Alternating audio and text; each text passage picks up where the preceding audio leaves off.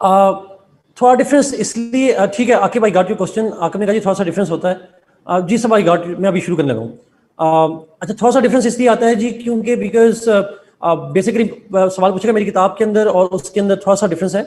और थोड़ा सा डिफरेंस इसलिए है बिकॉज़ इंटरप्रेशन थोड़ी सी डिफरेंट हो जाती है बट ब्रॉड आइडिया सेम ही होगा। ब्रॉड आइडिया सेम ही होगा कि एजुकेशन पचास साल तक होगी एग्ज़ाम बीस साल में होगा एग्ज़ाम पैंतीस साल में होगा ब्रॉड आइडिया सेम होगा। बीच में इंटरप्रेशन का थोड़ा सा डिफरेंस आ जाता है। तमाम किताबों में आ जाता है। दैट्स नॉर्मल थिंग प्लेटो का क्रिटिसिज्म मैंने आपको लोगों को कहा था जी। You will have to discuss that and you will have to share it but let's हम इसको चलते हैं। हम इसको शुरू करते हैं और फिर आगे चलेंगे। यस ओके नाउ अरिस्टोटल के बारे में मैंने आपको थोड़ी बायोग्राफी बता दी थी उसके बारे में, अगर आपको याद हो।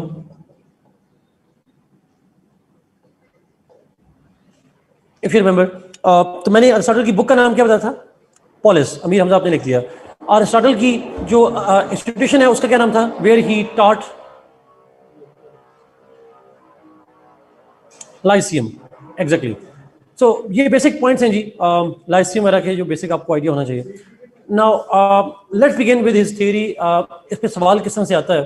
अरिस्टोटल में सवाल यूजुअली उसकी nature of state nature of state and classification of state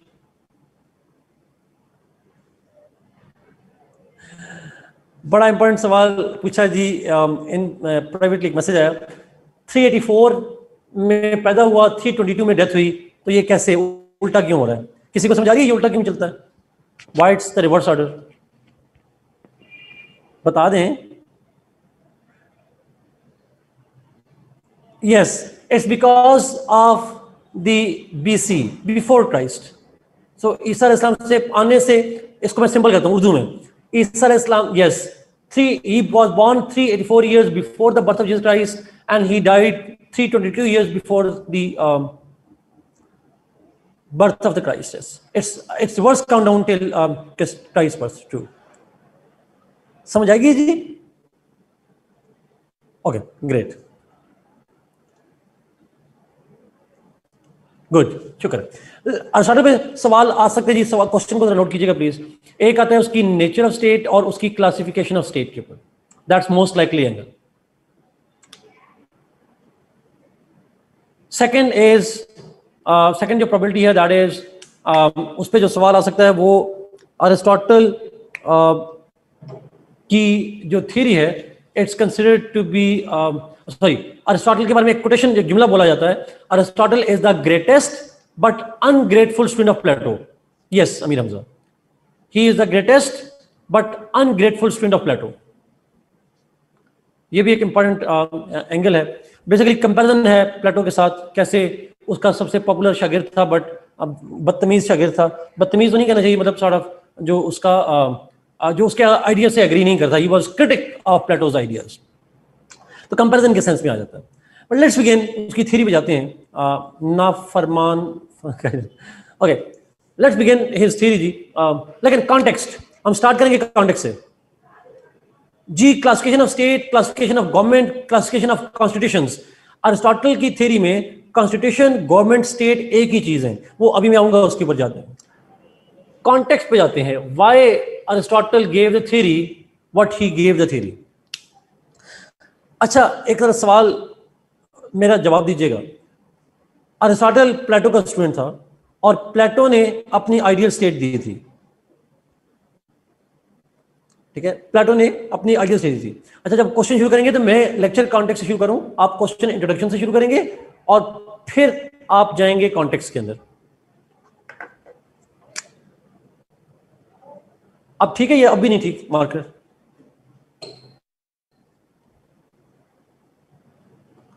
intro सवाल का Sajid. When the question will come तो आपने स्टार्ट करना है इंट्रोडक्शन से क्वेश्चन के और फिर आपने लिखना है कॉन्टेक्स्ट अच्छा अब अरिस्टोटल पे एक सवाल मैंने आपसे पूछना है कि अरिस्टोटल से पहले प्लेटो ने दी आइडियल स्टेट की थेरी। अच्छा अब आइडियल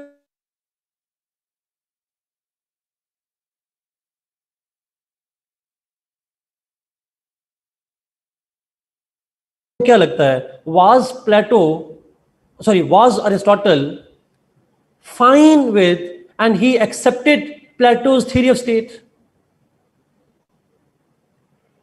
he did not अगर उसे एग्री कर रहा होता तो अपनी थ्योरी ना दे रहा होता। अगर वो उसकी थ्योरी से एग्री कर होता तो उसकी अपनी थ्योरी ना आती।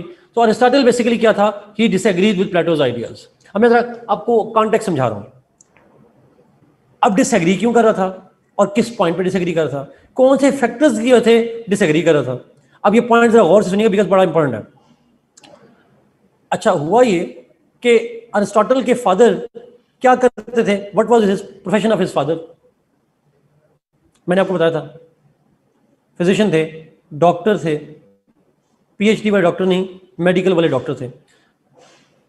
नाउ ज़्यादा ने अच्छे स्पेलिंग लिखे डॉक्टर्स के, वही वाले डॉक्टर वाले।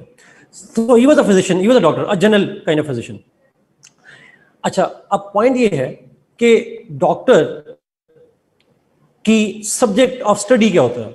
What he studies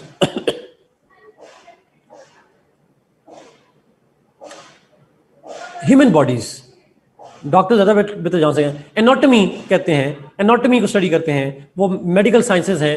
मेडिसन और मेडिसन का ऑब्वियसली इम्पैक्ट जो है वो ह्यूमन बॉडी पे क्या है? उसको स्टडी कर रहे होते हैं उसका सब्जेक्ट मैटर है ह्यूमंस ह्यूमन बॉडीज और उसके अंदर डिजीजेज उसकी केयर और वो सारी चीज़ें आ जाएँगी।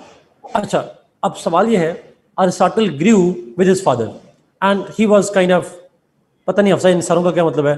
पैथोलॉजी पैथोलॉजी को तो मैं पैथेटिक आलोजी कहता हूँ सर बट जो भी है किनेजियालॉजी जो भी है। But the point is as part of his father as part of his father तो वो उसके साथ अटैच uh, था। और मैंने आपको कहा था कि सत्रह साल तक I guess give you the numbers वो बेसिक एजुकेशन फादर से ली और उसी के साथ काइंड ऑफ़ स्टडी करता रहा। Now having said this thing एक डॉक्टर की एक डॉक्टर की मेथड ऑफ़ स्टडी क्या होती है? अब ये पॉइंट जरा और सुनिएगा। ही वाज एग्जैक्टली अब दैट वाज पॉइंट अब डॉक्टर की मेथोडोलॉजी होती है scientific and that scientific methodology science का जो प्रोसेस है स्टडी uh, का या नॉलेज गेन करने का उसका पहला स्टेप क्या होता है? What is the first step in the study of science जो हमारी मैट्रिक की किताबों में लिखा होता है ऑब्जर्वेशन डेटा कलेक्शन ऑब्जर्वेशन एक ही बात है examine Research starts with observation. Can and does science talk about things that it cannot observe?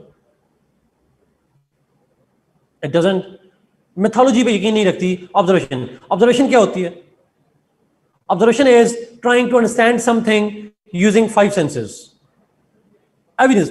Five senses से एक्वायर करने वाला जो इल्म है उसको हम कहते हैं ऑब्जर्वेशन हाइपोथेसिस नहीं हाइपोथेसिस और चीज़ हो जाती है ऑब्जर्वेशन मतलब आप सुन के, आप देख के, आप टच करके टेस्ट करके स्मेल करके यूजिंग एनी फाइव सेंसेस आप चीज़ों को अंडरस्टैंड करने की कोशिश करते हैं। Observation is not looking it's actually trying to understand something by using five senses अच्छा अब डॉक्टर्स क्या करते हैं? They examine the body and they observe the body उसकी सिम्टम को ऑब्ज़र्व करते हैं प्रोसेस को ऑब्ज़र्व करते हैं and they start with that thing diagnosis जिसको हम कहते हैं अपनी लैंग्वेज में। And diagnosis begins with observation.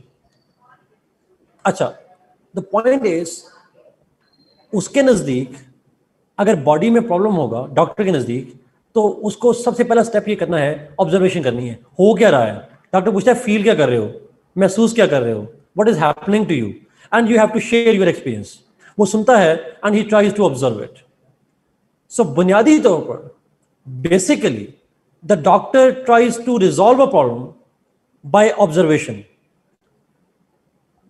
Observing the problem. And then he comes up with some kind of conclusions. अच्छा without observation he can not cure वो कर नहीं सकता इस प्रोसेस को हम कहते हैं science so in science you don't think you actually observe आप सोचते हैं, लेकिन सोचने से पहले काम करते हैं ऑब्जर्वेशन ऑब्ज़र्व करके फिर सोचते हैं and based on observation, you came, come to certain conclusions and all that. You gain knowledge. अब इशू ये है कि जो अरिस्टोटल था ही वाज ट्रेन्ड कि any problem if we want to resolve it, if we want to find a cure of it we have to start with observation हमें observation से start करना पड़ेगा। ऑब्जर्वेशन करेंगे, हम ऑब्ज़र्व करेंगे चीज़ों को, और उसके बाद उस मसले को प्रॉब्लम अंडरस्टैंड करने की कोशिश करेंगे और रिजॉल्व करने की कोशिश करेंगे। Later on with this training in mind, with this method in mind, this scientific method in mind, he went to Plato's academy और वहाँ पे uh, वहाँ पे वो चला गया जाके अपने टीचर के पास when he went to uh, Plato's academy तो Plato was studying what Plato का subject of study क्या था what was was his subject of study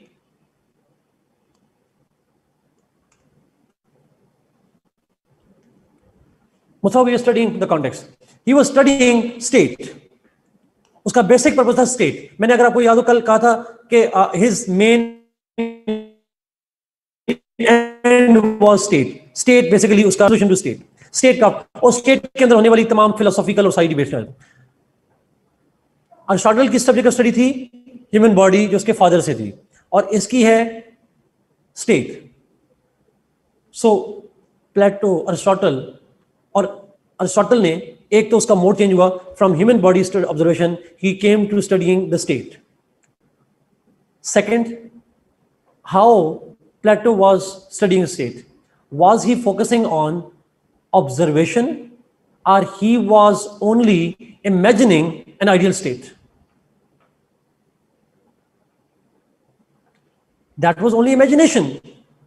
He only wanted state जिसमें ये भी हो जाए, ये भी हो जाए, वो भी हो जाए। He was imagining utopian idea now for Aristotle can you resolve a problem by imagining or creating a utopia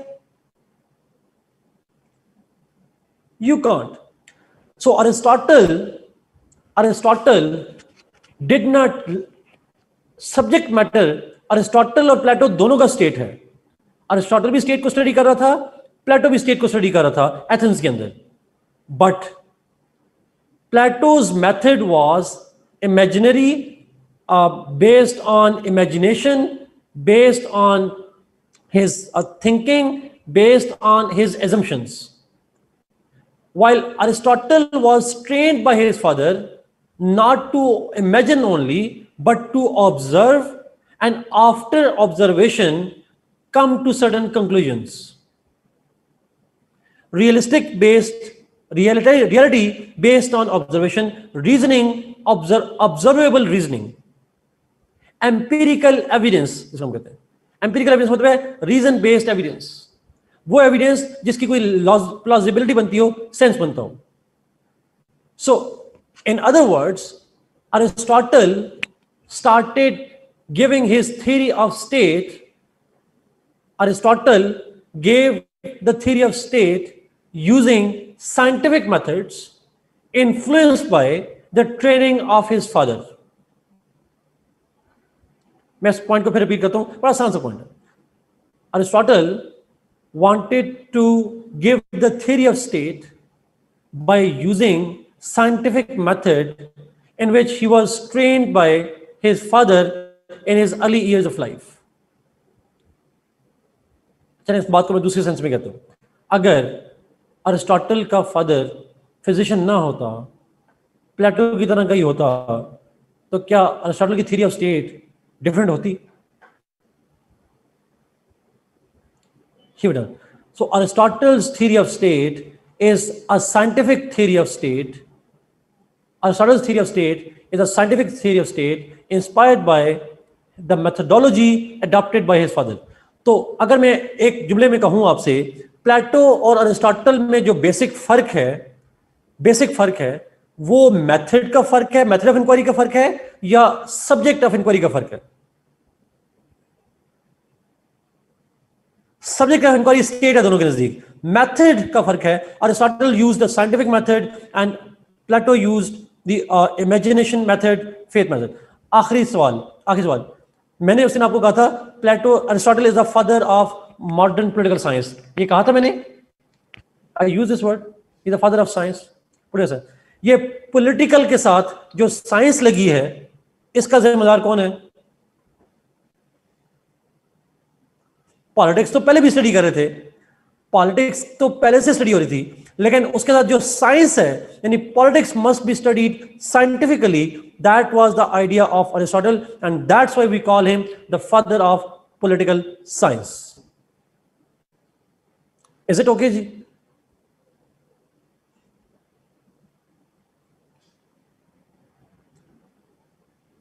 fine great देखना प्लेटो ने ज्यूम किया इंसान की तीन नेचर होती हैं और उस पर वो चला गया। आ, और इससे आगे सॉल्व चलना शुरू हो गया। ये बेसिकली एक उसकी इमेजिनेशन में चली गई। ये यू कैन कैन ये भी बता सकते हैं आप, ये बता सकते बट मैं बेसिकली समझा रहा हूँ तो प्लेटो से कंपेयर नहीं कर रहा है सच। मैं बेसिकली बता नहीं चाह रहा हूँ कि अरिस्टोटल के ऊपर इन्फ्लुएंस था उसके फादर का। He was influence by the scientific methodology inspired by his father which he use to investigate the problem of the state that's the basic context of history Let's begin his theory.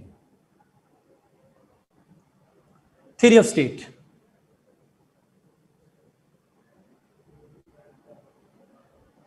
Aristotle begins his theory of state by explaining human nature.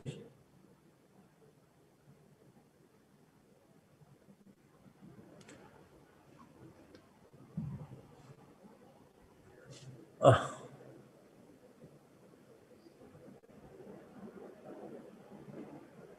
Ji Amna absolutely जी अगर आप ये please share करें that's wonderful words absolutely this is what I wanted to say absolutely it's a very good very well worded statement please Aristotle begins his theory.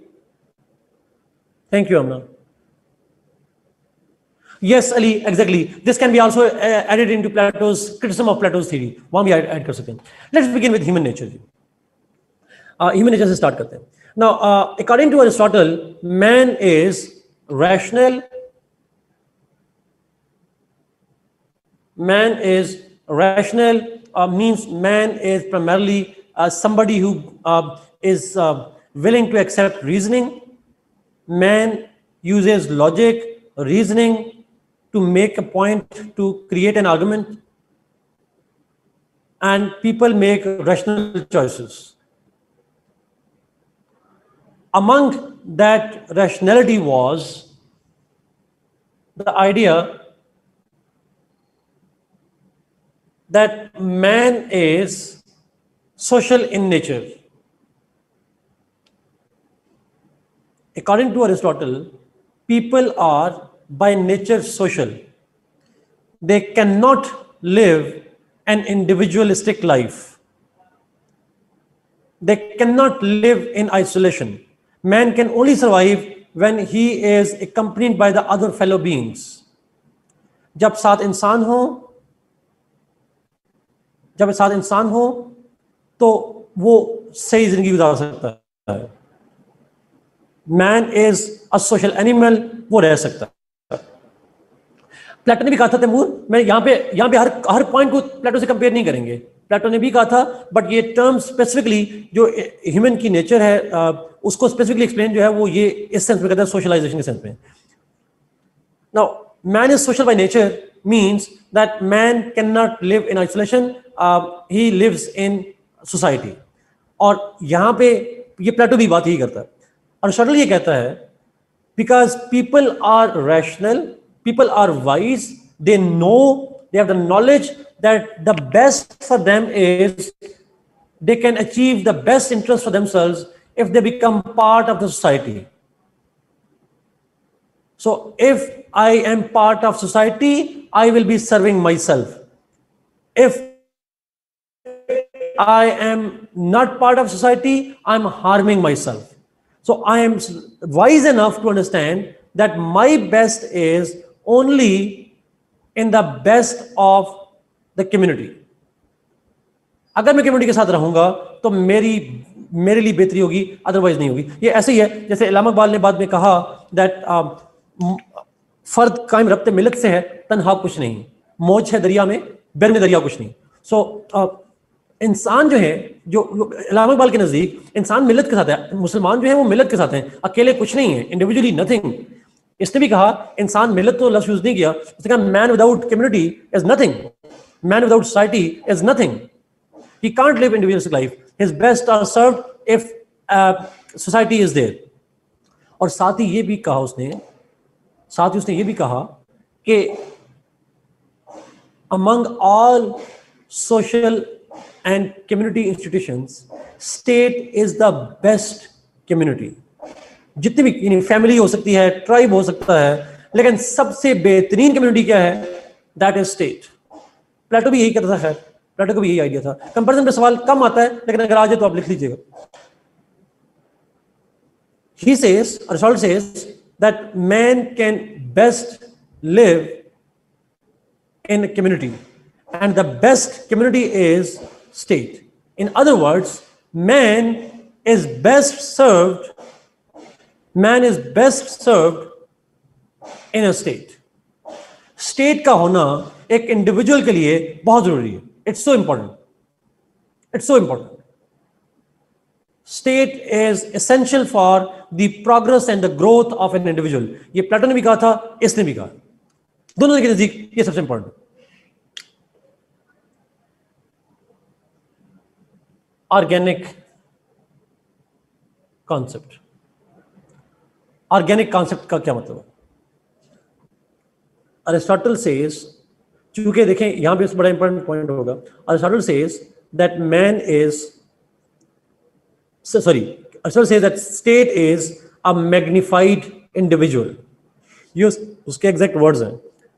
जो state है, वो magnified individual है। एक इंसान को बड़ा कर दें एक इंडिविजुअल को बड़ा कर दें तो स्टेट बन जाती है।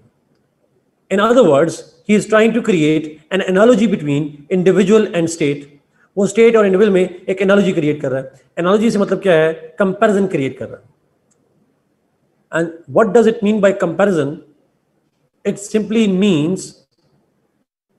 it simply means that uh, individual anatomy and state anatomy are comparable. Human behavior and state behavior is compatible, comparable. अच्छा उसने स्टेट की और इंडिविजुअल की एनालॉजी क्यों क्रिएट की why he created analogy because उसके फादर के पास जब वो स्टडी कर रहा था you were studying humans and जब वो प्लेटो के पास आया एथेंस में उसका सब्जेक्ट स्टडी बन गया स्टेट तो आप भी तो क्या करते हैं आप अपनी स्टडीज़ को कंपेयर करते हैं अपनी लाइफ के साथ। So he try to compare both of them so at home he was studying body human human beings and in in institution in uh, he was studying state. So he tried to compare. Man is a magnified individual. Means people are like state is men नहीं कहा मैंने कहा state is a magnified individual mean state is like people state जो है वो इंसानों की तरफ़ दिया अच्छा कैसे एनाटॉमी और आप फ़ंक्शन की बात करें?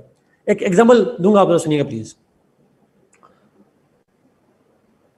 अगर आप जानते हो तो ह्यूमन बॉडी के अंदर there are different systems that work and collectively they make the body work so for example there are uh, classifications of systems and they collectively work as a part of state as a part of body. State may be according to Aristotle state can there be? There are different institutions.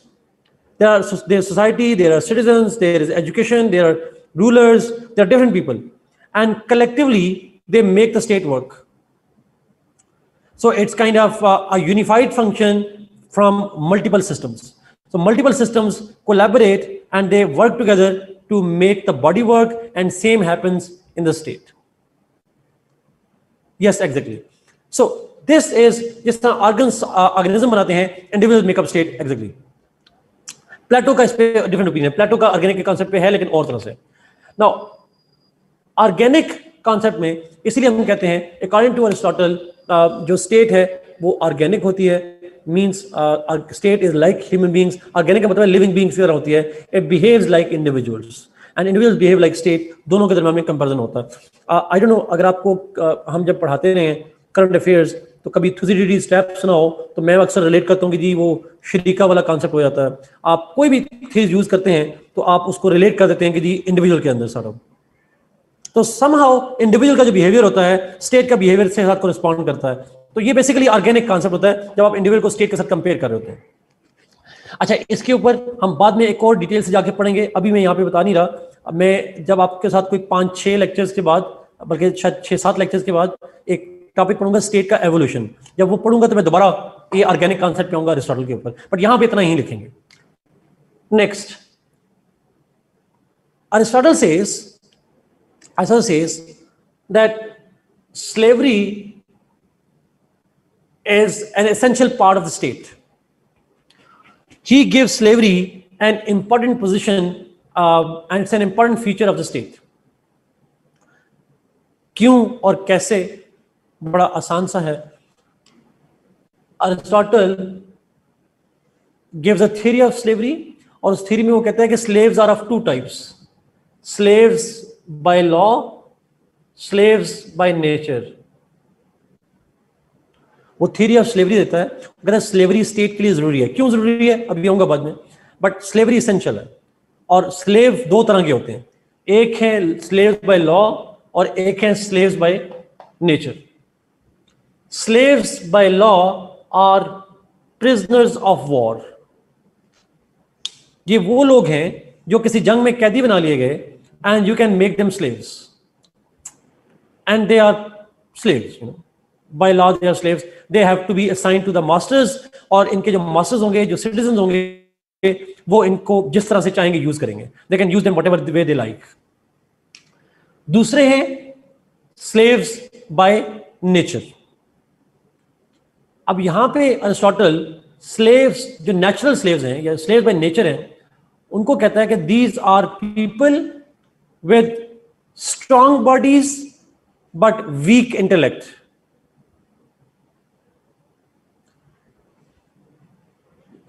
slave by law कौन से हैं? These are prisoners of war जो जंग में कैदी बना लिए जाएँगे, उनको बाय लॉ स्लेव बना दिया जाएगा, तमाम लोगों को। लेकिन स्लेव बाय नेचर कौन से हैं? ये वो लोग हैं who have strong bodies but weak intellect and because they have weak intellect they can not be citizens but because they have strong bodies so they can be suitable for being slaves गुलाम बना हैं और as slaves they will have to do the work for their masters अब masters जो होंगे, उनके जो मालिक होंगे जो सिटीजन होंगे, उनके लिए ये फ़िज़िकल लेबर कर रहे होंगे सो so, उनका इंटेलेक्ट वीक है और इसलिए वो क्या करेंगे? और बॉडी के लिए स्ट्रांग है तो वो स्लेव बन के फ़िज़िकल काम करेंगे लेबर करेंगे। अब इनके लिए वो कहता है स्लेव बाय नेचर के लिए कहता है वो कहता है ये जो स्लेव्स बाय नेचर हैं क्योंकि प्रिजनर वार तो कभी कभी आते हैं ना mostly slaves will be slaves by nature ये तो कभी कभी आते हैं। ना वार होगी तो आएँगे वार नहीं होगी तो नहीं आएँगे। स्लेव बाय जो नेचर है अरिस्टोटल कहता है physical work for masters and masters will work for state उम्र उस पर आऊँगा मास्टर्स के लिए काम करना is the same as working for the state वो बात एक ही है। अच्छा अगला पॉइंट बड़ा इंपॉर्टेंट वो कहता है कि जो स्लेव्स बाय नेचर हैं, जो मोस्टली स्लेव्स होंगे, वो कहता है कि ये slaves they are very very important ones there slavery is beneficial Umar आप बोले पॉइंट पे the slavery is beneficial not only for state but it is also beneficial for the slave themselves ये स्लेव होंगे, इसका फ़ायदा इन स्लेव्स को भी है और इसका फ़ायदा स्टेट को भी है। क्या फ़ायदा है? स्लेव्स को फ़ायदा ये है स्लेव्स का बेनिफिट ये है that when they will be working for their masters and masters have intellect and slaves have no intellect. So when they will work with the masters who have intellect they will learn from them. By staying in the company of their masters they can improve their knowledge. They can improve upon their intellect. And and if they improve their knowledge and if they improve upon their intellect, then they can be freed.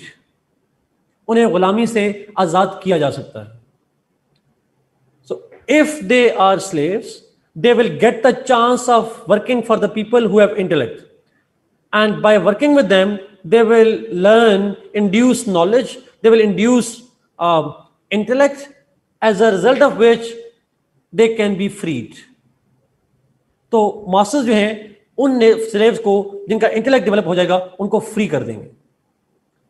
तो फ़ायदा किसका हुआ? उस slavery का फ़ायदा slave का हुआ कि उन्होंने लर्निंग की और उन्होंने इंटेलेक्ट किया और उसका नतीजा ये निकलेगा they can come out of slavery state को कैसे फ़ायदा होगा? how state will benefit? Aristotle kehta hai that the benefit to state shall be the benefit to state shall be that the slaves the slaves when they will do the physical labor when slaves will do the physical labor then the citizens will have spare time मैं first can citizen हूं मेरे पास चार slaves हैं slaves मेरी सारी जरूरतें पूरी कर लेंगे मेरा मैनुअल वर्क कर देंगे then I will be having leisure time and I can use that time for the service of the state. I can use, as a citizen, I can use that time, that leisure time, for the interest of the state. तो state को benefit होगा manual work करूँगा, citizen फारिग होंगे, वेले होंगे, वो अपना इंटेलेक्ट को यूज़ करेंगे स्टेट इंटरेस्ट के लिए। That's the idea of Aristotle is it clear जी? मुश्किल तो नहीं है, आसान सा point okay let's move to the next point the concept of distributive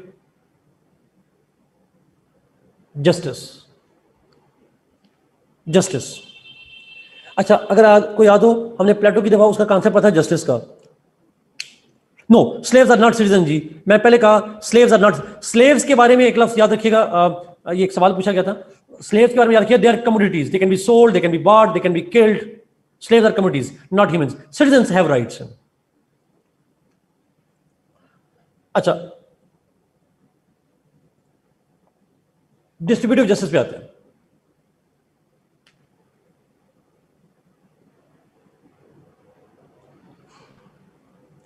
present की बात नहीं कीजिए, मैंने लॉज स्लेव बाय नेचर की बात की, इनकी बात करेंगे, उनकी बात नहीं करता हूँ। अच्छा डिस्ट्रीब्यूटिव जस्टिस पे आते हैं।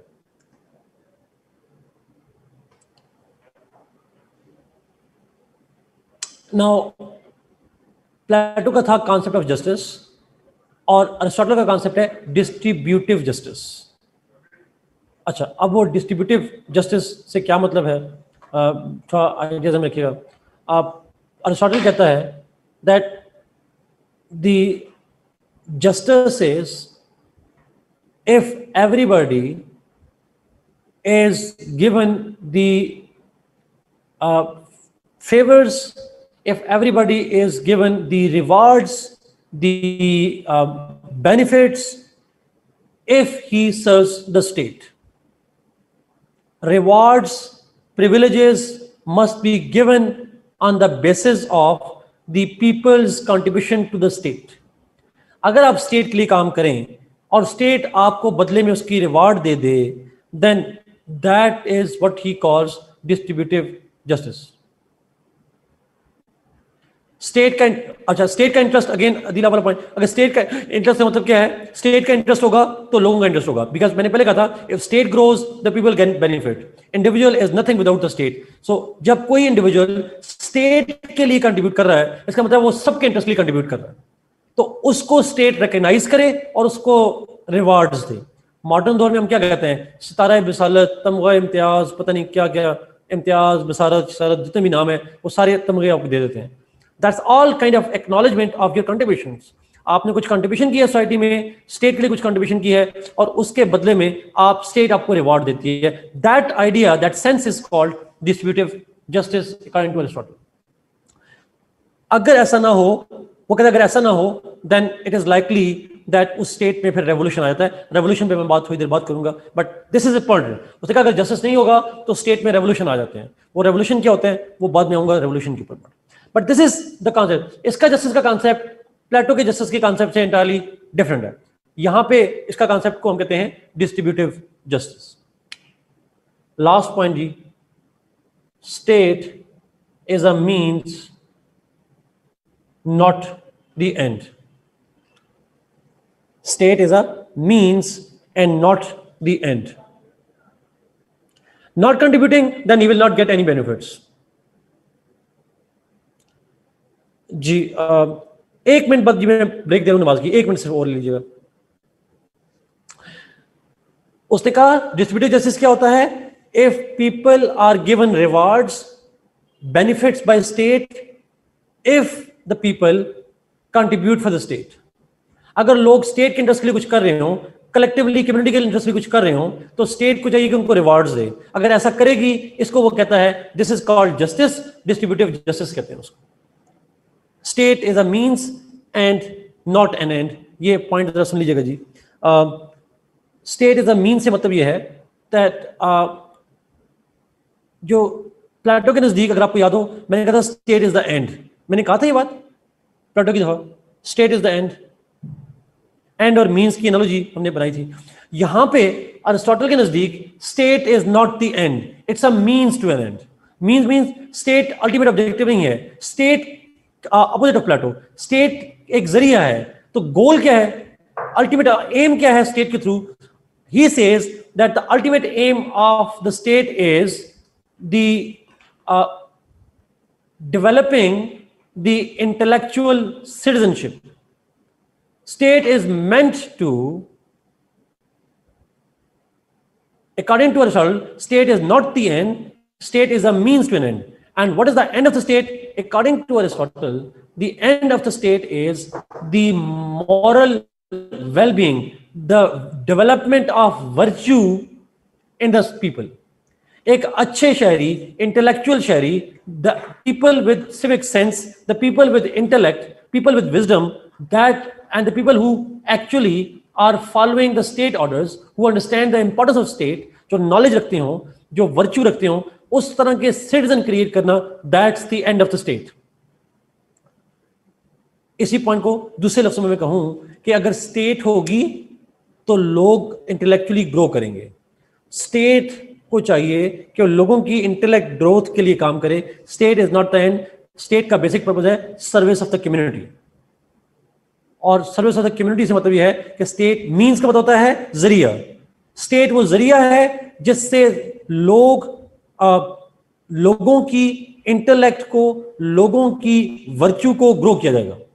अच्छा अब याद रखिएगा, यहाँ पे लोगों की बेहतरी से मतलब यह नहीं है कि उनकी इकोनॉमिक नीड्स पूरी की जाएँगी। ये स्टेट लोगों की इकोनॉमिक बेनिफिट्स के लिए नहीं, बल्कि लोगों की लोगों की मॉरल डेवलपमेंट करनी है स्टेट ने that's the aim of the state to grow the moral to develop the morality among the people is clear ji moral and ethical development exactly that's point virtue develop करना है that's what the state is slave citizen नहीं होते जी slaves are only the tools is it clear अच्छा नमाज़ की break लेनी है, कोई बच्चे मुझे मैसेज आए एक दो, कि जी, नमाज़ की पाँच मिनट की ब्रेक लेनी है। The end of the state is moral development of the people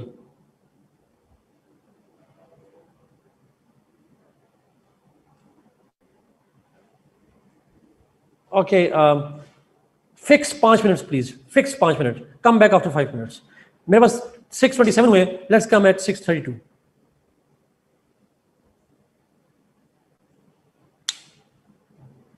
break दे दें यार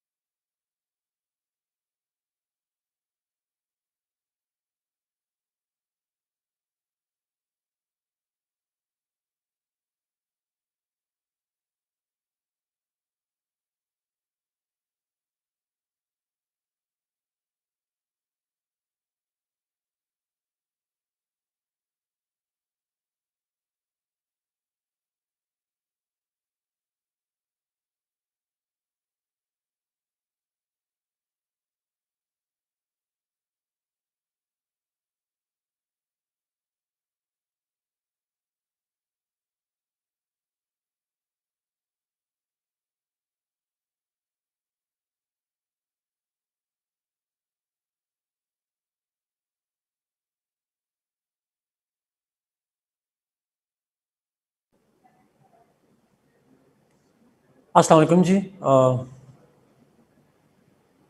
वेलकम बैक रिदा बेसिकली हम डिस्कस कर रहे थे उसकी थ्योरी ऑफ़ स्टेट और उसमें ये चार पाँच पॉइंट है ये आसान से पॉइंट इतने मुश्किल नहीं है। Uh, उसने ह्यूमन नेचर के बारे में कहा ह्यूमन नेचर इज़ अगर आपको रिदा मेरी आवाज़ आ रही है तो।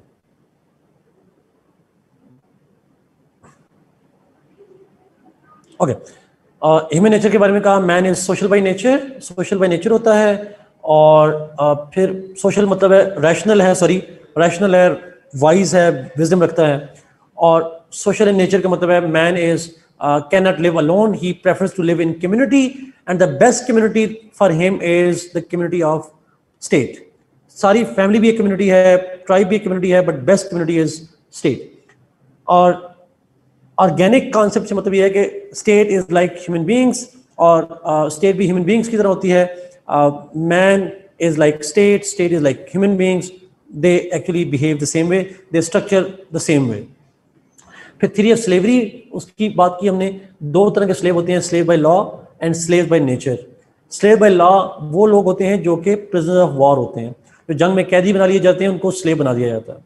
या फिर वो स्लेव्स होते हैं जिनकी बॉडी स्ट्रांग होती है इंटेलेक्ट वीक होता है, उनको हम कहते हैं स्लेव्स बाय नेचर फिर कहते हैं distributive justice means that those people who contribute for the state they must get reward from the state जो स्टेट के लिए कंट्रीब्यूट करें स्टेट की खिदमत करें, उनको रिवॉर्ड मिलना चाहिए। इस कॉन्सेप्ट को कहता है डिस्ट्रीब्यूटिव जस्टिस और लास्टली स्टेट जो अरिस्टोटल के नज़दीक है, वो it's a means and not the end state एक ज़रिया है किसी खास गोल का, खास ऑब्जेक्टिव का। और वो गोल क्या है ऑब्जेक्टिव क्या है? और वो है moral and ethical development of the people citizen जो हैं पीपल से मतलब सिटीजन हैं स्लेव्स नहीं आते उसमें।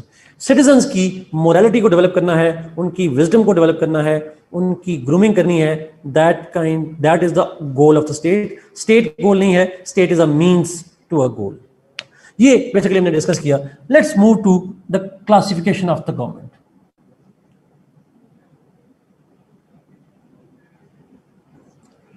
classification of state ji only citizen देखें अरसाल की सारी थीरी में स्लेव का ज़िक्र ही नहीं है। स्लेव्स आर पहले उन्होंने, बड़ा अच्छा ऊपर एक जुमला लिखा उन्होंने किसी ने कि जी slaves are tools with voice ये वो टूल्स हैं जिनकी आवाज़ होती है बस that's absolute no rights at all okay classification of state classification से मतलब ये है कि स्टेट को, अगर सुनिएगा बड़ा इंपॉर्टेंट पॉइंट अब यहाँ पे इसको लिंक करेंगे लाइफ के साथ थोड़ी सी।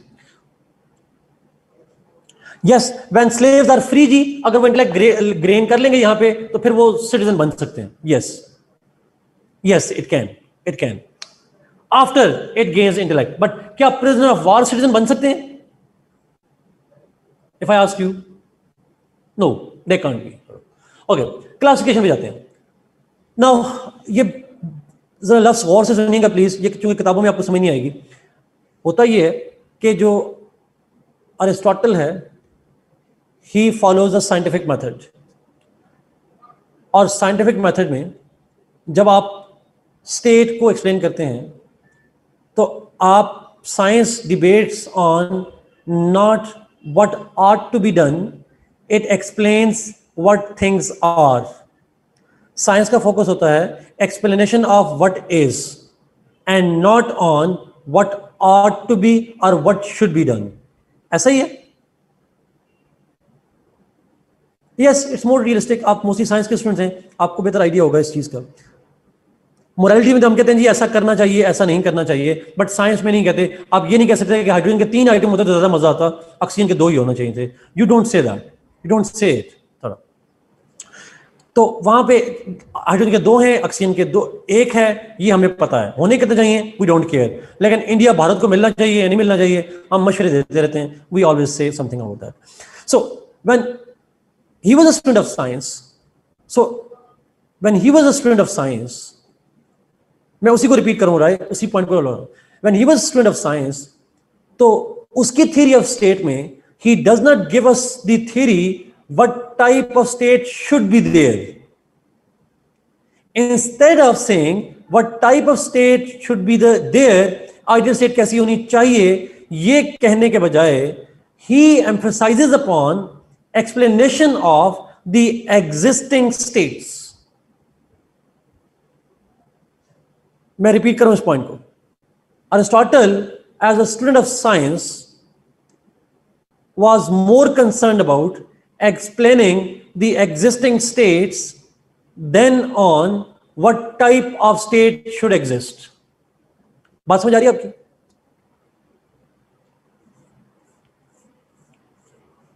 नहीं समझ आई, दोबारा रिपीट करता हूँ। अरिस्टोटल ये कहता है कि उसके ज़माने में, जिस ज़माने में वो रह रहा था, उस ज़माने में कौन सी स्टेट्स मौजूद हैं, उनकी क्वालिटी क्या है, उनको वो एनालाइज करेगा। बजाय ये कहने का कि स्टेट को ऐसा होना चाहिए, वो ये आर्गुमेंट नहीं बनाएगा कि स्टेट को कैसा होना चाहिए। उसका आर्गुमेंट ये होगा कि जो मौजूदा स्टेट्स हैं वो कैसी हैं? Exactly is rational rather than the imaginary is focusing is analysing the current instead of assuming or creating an imagination sort of. Exactly. So as a scientific student, states कैसी हैं?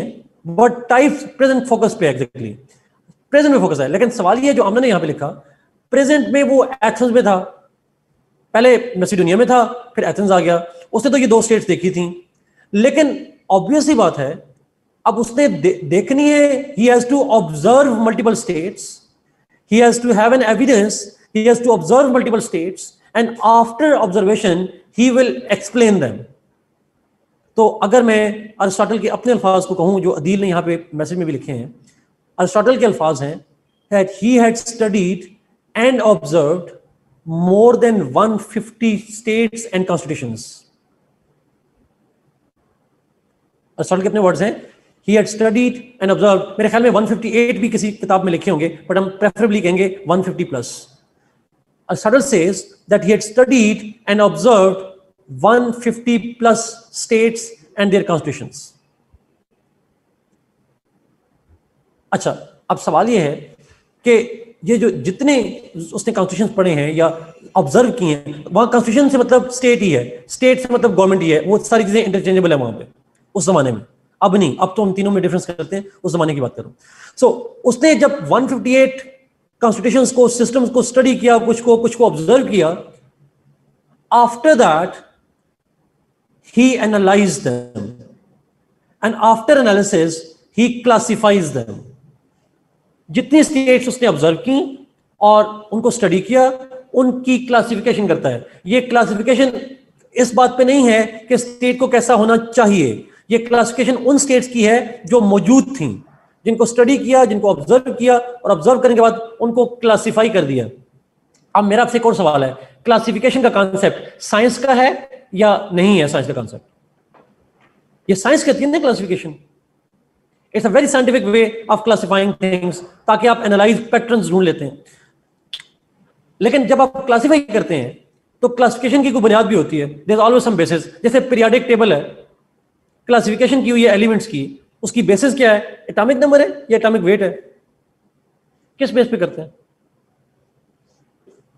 नंबर की बिना पे। Okay हमेशा classification की कोई ना कोई बेसिस होती है जिसकी बिना पे आप क्लासिफाई कर रहे होते हैं। तो यहाँ पे भी, यहाँ पे भी he provides two basis on the two factors on the basis of which he classifies मैं इसको एक्सप्लेन करता हूँ। टेबल बनाता हूँ क्लासिफिकेशन की, ताकि आपको आइडिया आ जाए।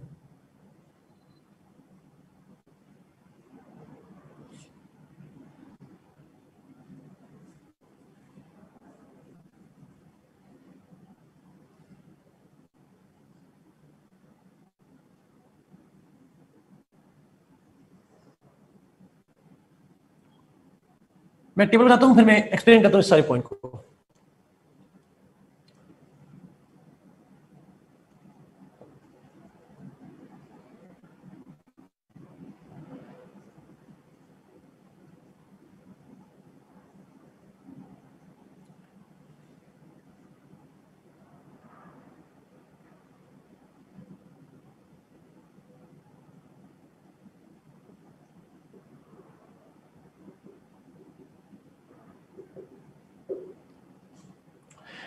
अच्छा अब अरिस्टोटल कहता है दैट जितनी स्टेट्स उसने स्टडी और ऑब्ज़र्व की उनको दो बेसिस पे वो डिवाइड uh, करता है। एक है the purpose that is serve the objectives the interest of the states उन स्टेट्स में जो रूलर्स हैं ये तस्वीर में भिजवा दूँगा रहता इसकी तस्वीर। आइडिया समझिएगा। वो कहता है एक तो देखना ये है कि जो रूल करने वाले लोग हैं, उनका ऑब्जेक्टिव क्या है, उनका इंटरेस्ट क्या है, वो किसके इंटरेस्ट के लिए सर्व कर रहे हैं? एक बेसिस ये बना दिया, दूसरा फैक्टर बना दिया नंबर ऑफ़ रूलर्स रूलर्स कितने हैं? How many people are at the helm of affairs rule करने वाले लोग कितने हैं? अब इस बुनियाद पे based on these two points he create six states छह स्टेट क्रिएट नहीं करता सॉरी वो 158 स्टेट्स को छह कैटेगरीज में डिवाइड करता है। He divides the states into six categories. Yes, exactly. जरा देखना यार बोर्ड को बच्चे कह रहे हैं क्लियर नहीं है। नेट का मसला है ये, पता नहीं क्या।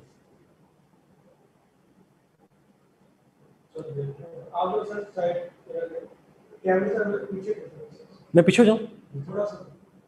इतना पीछे हो सकता हूँ। अब अब कैसा है बच्चे कमेंट जरा देखें। अब ठीक है? चले मैं फिर पीछे हो जाता हूँ थोड़ा सा। अच्छा। बोर्ड पे कर दो मुझे छोड़ दो। ऐसा हो सकता है? मेरा फोकस छोड़ के बोर्ड पे हो सकता है?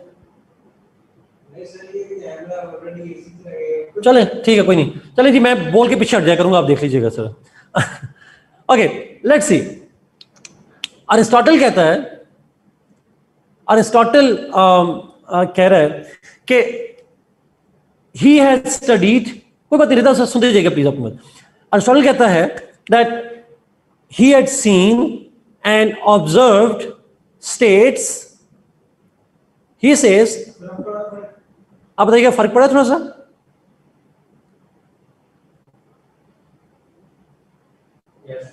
okay great great great better great हो गया जी ठीक होगा। Aristotle says, अगर पॉइंट पे आते हैं जी that he had studied and observed some states in which one person was the ruler एक बंदा रूल कर रहा था एक रूलर था and that one ruler was working for the interest of everybody general interest के लिए काम कर रहा था। that one person was working for the interest of every person, everybody in this community, and he called it monarchy. अच्छा याद रखिएगा, ये उसकी डेफिनेशन है, हमारी नहीं है। मॉडर्न दौर में हम मीनिंग कुछ और लेते हैं। ये उसके उसके वक्त की, मैंने कहा खुद फिलोसफर नहीं बनना। उसने कहा उसके मीनिंग है। हम मॉडर्न दौर में उसको नहीं मानते। He says that when one पर ही हैड सीन स्टेट्स हो सकता है वो दो स्टेट हो सकता है बीस हो, पंद्रह हो but he had set he had seen states जहाँ पे one man was ruling for everybody's interest that kind of state is called monarchy and he also says he had seen and observed states where one man was ruling for selfish interests and he called it tyranny selfish interest से मतलब यह है that one man was working for himself his friends his family selfish interest के लिए काम कर रहा था ये उसकी ऑब्जर्वेशन है उसका ख्याल नहीं है उसकी ऑब्जर्वेशन है करप्ट था एग्जैक्टली exactly, जो भी कह लें बट टेरी नहीं कहता उसको then he said he had seen states multiple states in which few person were the rulers कोई एक रूलर नहीं था चार पाँच छह सात आठ दस लोग थे and they were working for general interest or the interest of the entire community he called it aristocracy and then he says he had seen and observed states in which few persons were ruling and those few persons were ruling for the interest of themselves. अपने interest के लिए selfish interest के लिए काम कर रहे थे not for the common public he called it oligarchy उसे उसने कहा oligarchy and then he says that he had seen and observe states in which many person were ruling many से मतलब मेजोरिटी भी हो सकता है सारे भी हो सकते हैं ऑल ऑफ़ दम भी हो सकता है and those many are majority were ruling for everybody's interest collective interest of everybody he called it polity उसको पॉलिटी कहता है where many are most of them were working for interest of the entire community he called it polity लेकिन उसने कहा, उसने ऐसी state भी देखी, जहाँ majority of the people are most of them were ruling and they were working for their selfish interest. Every person was being selfish at that system. He called it democracy. He called that system as democracy. मैं एक दफा repeat करता हूं जी गौर से सुनिएगा जिन बच्चों को समझ नहीं आई he says that he had seen and observe तमाम जुमलों में आप लिखेंगे सीन एंड ऑब्जर्व ये सीन ये observe states in which one person was ruling for collective interest of the community he called it monarchy but he said he had also seen some other states where one person was ruling and that one person was ruling for selfish interests personal interest of himself that system is called tyranny and then he says he had seen and observed states जहां कुछ लोग rule कर रहे थे few people were ruling and those few people were ruling for everybody's interest he called it aristocracy and then he had seen some other states where few people were ruling and those were ruling for selfish interest he called it oligarchy and lastly he had seen and observed states जहां पे many people were ruling majority लोग rule कर रहे थे या सारे लोग rule कर रहे थे डायरेक्ट डेमोक्रेसी थी and those people were ruling for common interests of everybody. He called it polity. And lastly, he says that he had seen states in which many people, majority of people were ruling, and those people were ruling for selfish interest. Each individual was selfish. He called it democracy. तो आप लोग please democracy के को critical ना देखिएगा please because ये सारी terms जो हैं, ये उसके मीनिंग उसके हैं मॉडर्न दौर में ना डेमोक्रेसी हम उसको कहते हैं, ना इसको टेरनी कहते हैं, ना अलीगर की ना मोनार्की ना अरिस्टोक्रेसी ना पॉलिटी मॉडर्न दौर में इन तमाम टर्म्स के मीनिंग डिफरेंट है उसके मीनिंग कुछ और है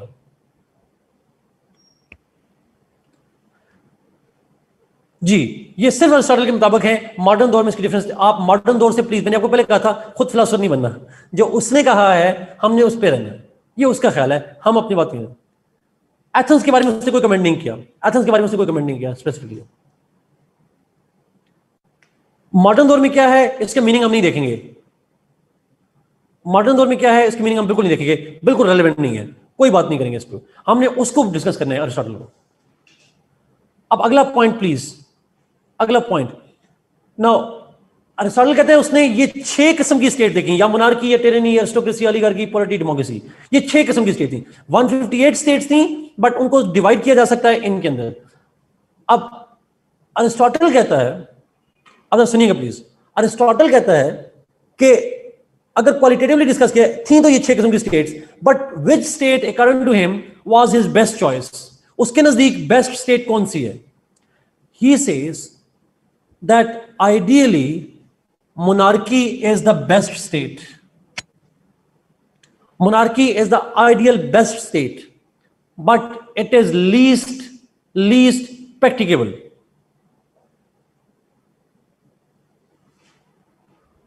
I repeat this point. Monarchy is the best state, but it's the ideal state, but it is least practicable. और लीस्ट प्रैक्टिकल क्यों है? जो हमने आखिरी पॉइंट लिखा, उसी की डेप्थ में मैं जा रहा हूँ। इसलिए because there is a fear that monarchy can turn into tyranny fear यह है that monarchy can turn into tyranny और ये बेस्ट है, ये बेटर है, ये गुड है. This is one this is two this is three ये आइडियल लिंकिंग है. दे ऑल आर गुड ये सारी अच्छी हैं। सारी अच्छी क्यों है? बिकॉज़ मोनार्की एरिस्टोक्रेसी पॉलिटी ये तीनों पब्लिक इंटरेस्ट को सर्व करेंगे।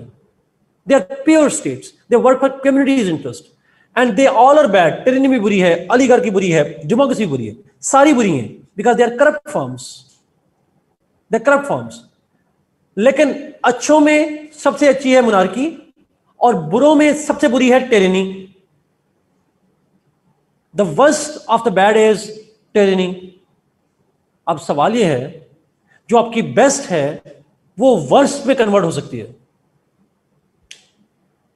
जो बेस्ट है it can revert into tyranny because एक बंदा जो रूल कर रहा है, एक बंदा जो रूल कर रहा है जनरल इंटरेस्ट के लिए ही कैन गेट करप्ट और if is replace by new one and the new person can be corrupt और जब एक बंदा करप्ट हो जाएगा तो वो वर्स्ट फॉर्म ऑफ़ गवर्नमेंट बन जाएगी।